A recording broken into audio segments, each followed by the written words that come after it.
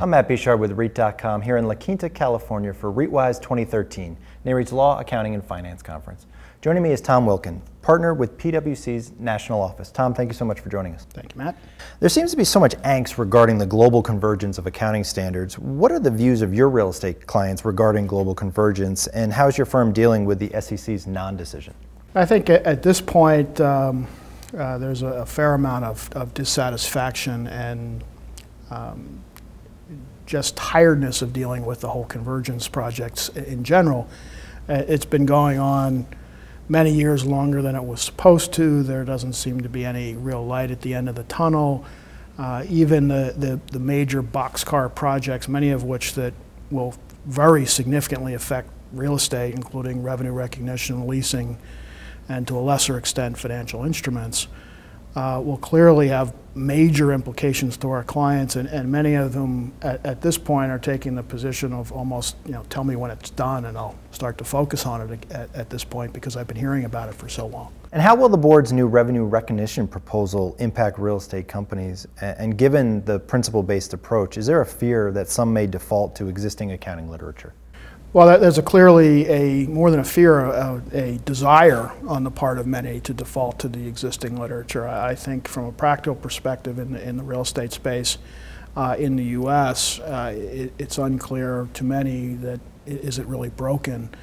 Um, from a, a, practical perspective, certainly many uh, areas of real estate, in particular home builders, uh, timeshare players, uh, master plan communities those types of, of segments of the real estate market will clearly be affected by the RevRec standard.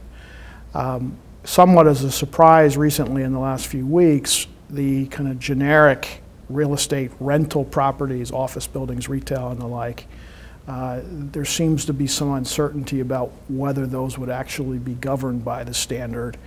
And the boards are, are looking at, or not the boards, plural, the board, the FASB in this case, is looking at potentially uh, having a, a, separate treatment for those, in essence being the sale of a business. Uh, now that opens up all kinds of issues that are really unclear where they're going to go at this stage and whether they're going to be done before the RevRec project uh, exposure or the, the final standard is actually issued or whether they'll be addressed later, given, given the long window of adoption date out in 2017. And shifting gears a little bit, how will the new leases proposal impact NAREIT member companies? Well, the impacts are, really twofold. Uh, certainly, from a business perspective, uh, any real estate company is affected by something that will affect how their customers, their tenants, uh, change their business practices as a result. Uh, it's likely going to vary by the different property types that are out there. Uh, certainly, in an apartment or a hotel side, for example, there's going to be almost no impact in terms of customer behavior uh, but you might see uh, in other property types like long dated single tenant lease type properties where you actually have them change the, the types of, of, terms that they negotiate for and the types of transactions that they engage in. So that could have a significant impact on their business.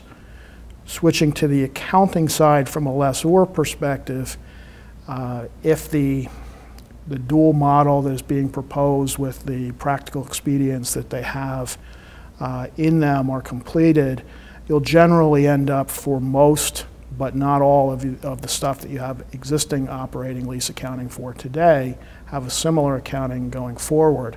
But most, not all, is the operative term there. There, there clearly be things on the margin, uh, for example, longer dated single tenant leases or long dated significant leases, be it you know, multiple floors of an office building or anchor tenants, could end up in the finance model and you could end up having to do the gain or loss calculation inherent in a, in a receivable and residual approach. That would be a pretty dramatic change for lessors.